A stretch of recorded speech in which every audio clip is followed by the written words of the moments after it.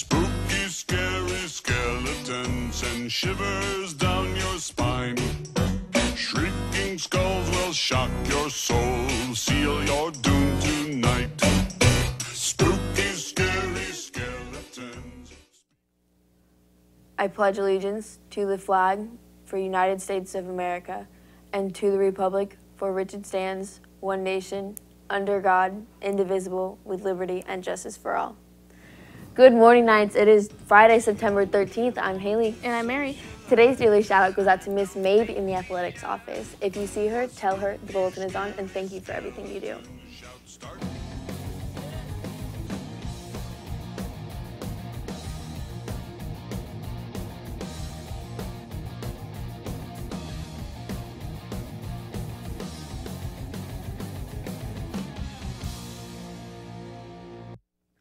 Welcome to the bulletin. It is Friday Spirit Week. I hope you seniors are wearing your tutus and your crowns. You freshmen are wearing your white, and you juniors and sophomores are doing your thing.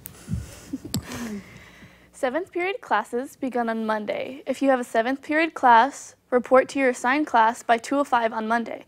If you plan to use Kitsap Transit or ride home, turn your ORCA card request form into Miss Bree at the front office ASAP.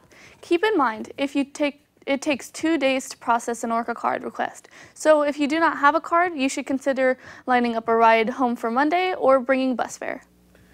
FCCLA will have their first meeting on Monday. FCCLA stands for Family, Career, Community Leaders of America. FCCLA is a national career and technical student organization. They will be meeting in room 111 beginning at 2:10 on Monday.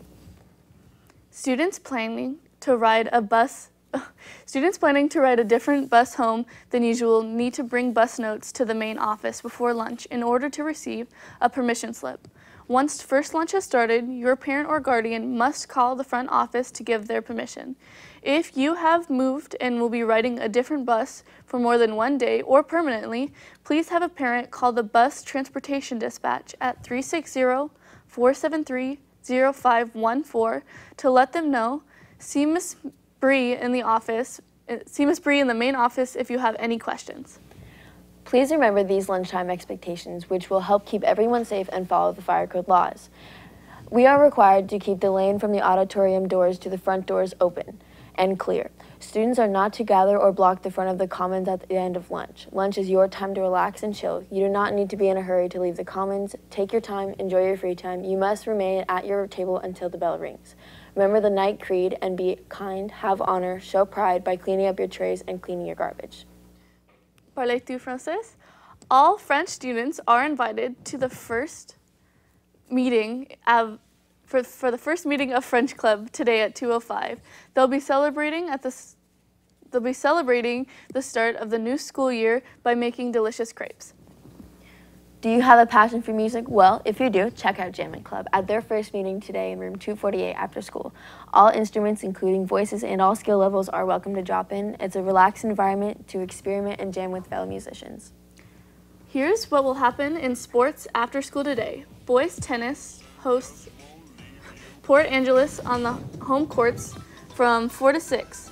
And varsity football starts at 6:30, hosting William uh, Wilson Rams. And tomorrow, the BHS NJROTC new cadet orientation will take place in the Commons from 8 to 3 p.m. And here celebrating birthdays today, we have our Chanel Casabar, Ian Grant, he- Kimberly Haven Ward, Skylar Mackey, Megan O'Boyle, and celebrating on Saturday, we have Raylan Brock, Malik Campbell, Jennifer Kiley, Amber Silvers, and Ivan Stone. Also on Sunday, the following Knights, Colin Alamos, Zyron Chen, Charles Ellis, Shadia, Shadia, Jonathan Ibbotson. and Samantha Sykes. Happy birthday Knights, and there you have it. This is your bulletin. Go Knights! Have a great weekend.